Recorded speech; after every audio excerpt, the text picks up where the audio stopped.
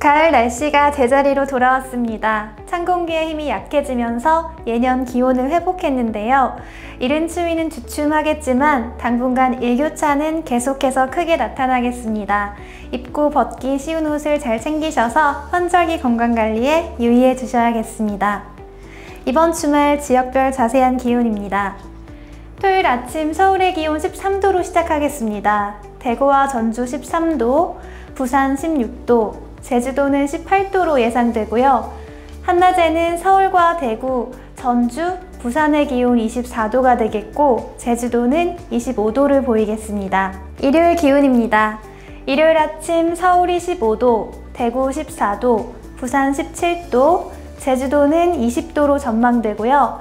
한낮에는 서울이 22도, 대구와 제주는 24도, 부산 25도를 보이겠습니다. 이번 주말까지 보통 예년 기온을 보이며 가을 날씨를 만끽하실 수 있겠는데요. 일요일 밤부터는 다시 찬 공기가 내려와 기온이 큰 폭으로 떨어질 것으로 전망됩니다. 다음 주 초에는 다시 때이른 추위가 찾아오겠습니다. 다음은 맥심 소식입니다. 나무같이 든든한 버팀목 같은 사람을 만나고 싶다. 연애 리얼리티 프로그램 비밀남녀 비밀에 붙여지던 라미의 직업이 공개됐습니다. 라미는 그동안 숨겨온 비밀이 맥심 모델임을 밝혔는데요. 사실 우리 독자분들은 다 알고 계셨겠죠? 라미, 아니 미스 맥심 김아람은 스스로에 대해 섹시하고 관능적이며 다분한 끼를 가지고 있다며 미스 맥심 타이틀을 얻기 위해서 노력했지만 자신보다는 맥심 모델인 것에 중점을 두고 보는 분들이 있어서 출연하게 됐다라고 말했습니다. 그런 와중 연애 리얼 프로그램의 백미 최종 결정에서 방송 초반부터 러브라인을 그리던 데이빗의 비밀이 모태솔로라는 것이 공개됐는데요.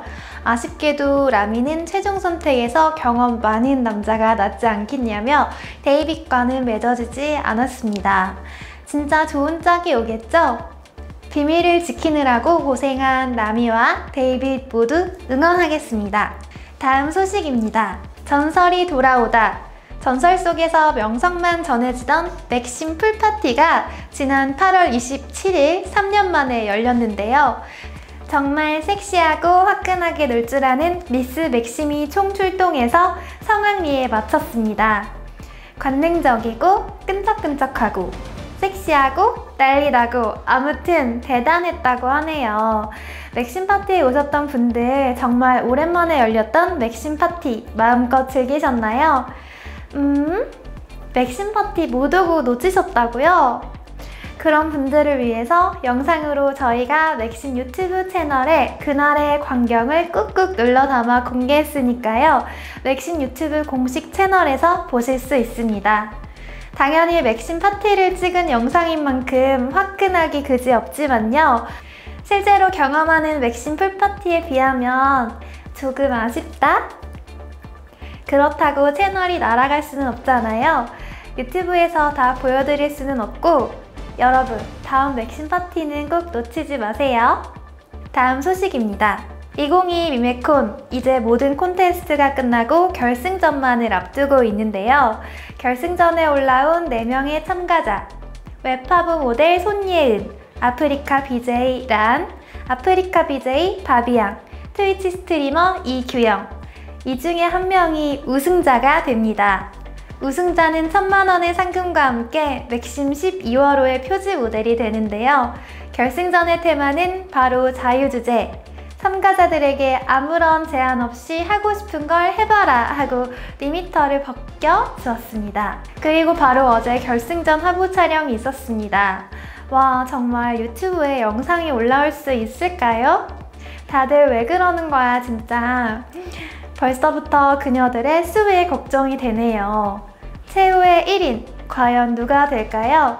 미스 맥심 콘테스트 최종 우승자가 탄생하는 마지막 투표는 11월 초에 시작합니다. 정확한 일정은 맥심 SNS나 주말의 날씨를 통해 공지해 드릴 테니까요. 최후의 1인을 뽑는 투표에 많은 관심 부탁드립니다. 이른 추위에 가을이 지나가 버렸나 아쉬웠던 분들 이번 주말 가을 날씨를 만끽하실 수 있겠습니다. 다음 주에는 다시 추위가 찾아오니까요. 변화가 심한 날씨 속에 건강 관리도 잘해주시기 바랍니다. 지금까지 맥심 날씨 김나정이었습니다.